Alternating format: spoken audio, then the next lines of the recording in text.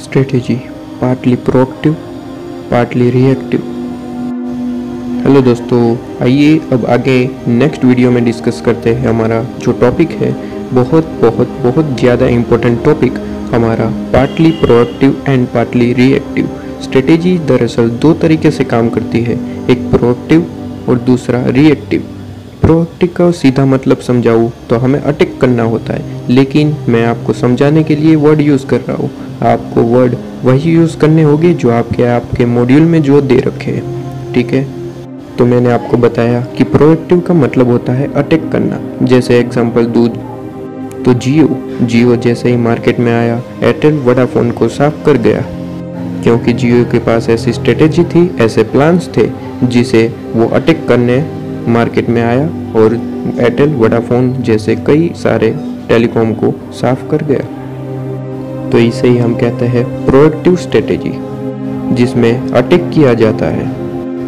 Proactive strategy को हम plan strategy भी कह सकते हैं, जिससे हम कंपनी की market position, financial performance and to tackle tackle का मतलब होता है। किसी भी चीज़ का सामना करना मतलब कि प्रॉब्लम्स को सामने आते ही उसे हम हल कर पाए।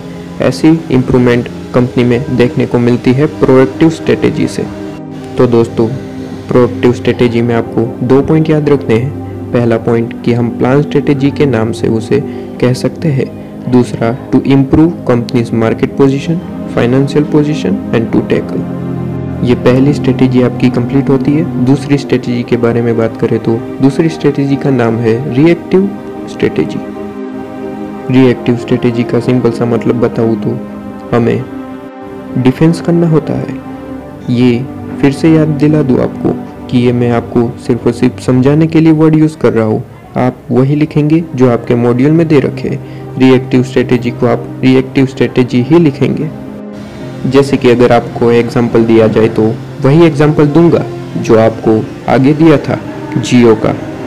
जैसे जियो ने मार्केट में प्रोएक्टिव स्ट्रेटेजी के साथ अटैक किया तो इसी के साथ जो आइडिया वोडाफोन एयरटेल तो यहाँ पे आप खुद कह सकते हैं कि यहाँ पे एयरटेल वोडाफोन जैसे कई कंपनियाँ का क्या स्ट्रेटेजी रहा होगा, बताइए। प्रोएक्टिव होगा या फिर रिएक्टिव होगा? रिएक्टिव होगा, आप सभी जानते हैं, क्योंकि इन्हें डिफेंस करना होता है। जियो ने जैसे प्रोएक्टिव स्ट्रेटेजी से अटैक किया तो इन्हें डिफेंस करना होता है रिएक्टिव स्ट्रेटेजी से। तो आइए, पहले हम ये देख लेते हैं कि रिएक्टिव स्ट्रेटेजी में हमें क्या लिखना है। प्रोएक्टिव स्ट्रेटेजी में तो हमने दो पॉइंट देख लिए।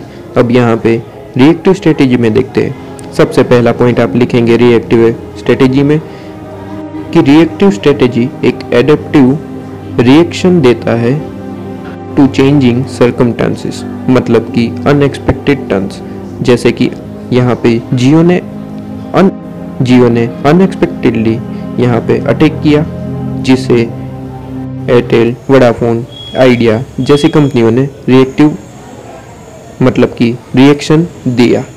तो दोस्तों, यहाँ पे आपको ये दो चीज़ें याद रखनी है कि दो तरीके की स्ट्रेटेजी आपको देखने को मिलती है प्रोएक्टिव और रिएक्टिव अब आपके मॉड्यूल में जो आपको दे रखा है, वो आप रीड कर सकते हैं और उसे याद कर सकते हैं। मैंने आपको कॉन्सेप्ट क्लियर करवा दिया है।